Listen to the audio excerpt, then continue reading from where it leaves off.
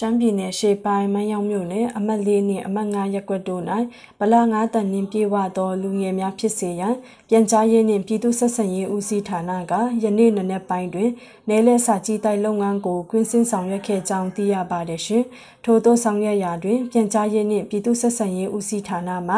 ဒုတိယဦးစီးမှုဒေါ်နန်းပန်ကဗလာ9တန်နှင့်ပြေဝသောလူငယ်များဖြစ်စေရန်နယ်လဲစာကြီးတိုက်နှင့်ပတ်သက်၍ရှင်းလင်းပြောကြားပြီး ဗလငါးတန်ဟုသည်ကာယဗလညဏဗလမိတ်တဗလဘောကဗလစာရိတဗလကိုဆိုလိုကြောင်းကာယဗလမှာကိုဤစွမ်းအားညဏဗလမှာညံဤစွမ်းအားမိတ်တဗလမှာမိတ်ဆွေကောင်းရှိသောစွမ်းအားဘောကဗလမှာဥစ္စာပေါ်များခြင်းဤစွမ်းအားဖြစ်၍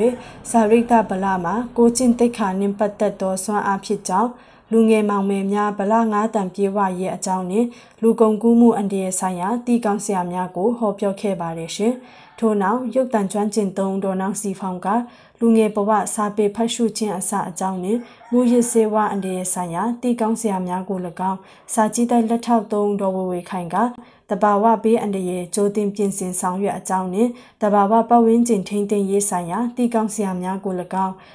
အငယ်တန်းစရဲဦးထုမြင့်လိုင်ကအရွယ်မရောက်သေးသူကလေးသူငယ်များစစ်မှုထမ်းခြင်းမှာကာကွယ်သားစီထိန်သိမ်းရေးနှင့်ကလေးအလုတ်တမာပပျောက်ရေးဆိုင်ရာတီကောင်းဆရာများကို၎င်းအတီးတီဟောပြောခဲ့ကြပြီးလူငယ်ရေးရာအသိပညာပေးနေရန်ကတ်စာဆောင်ပြပွဲဓာတ်ပုံပြပွဲနှင့်စာအုပ်စာဆောင်ပြပွဲများကိုခင်းကျင်းပြသခဲ့ကြောင်းသိရပါတယ်ရှင်။ကျွန်မမျက်စုမဦးပါရှင်။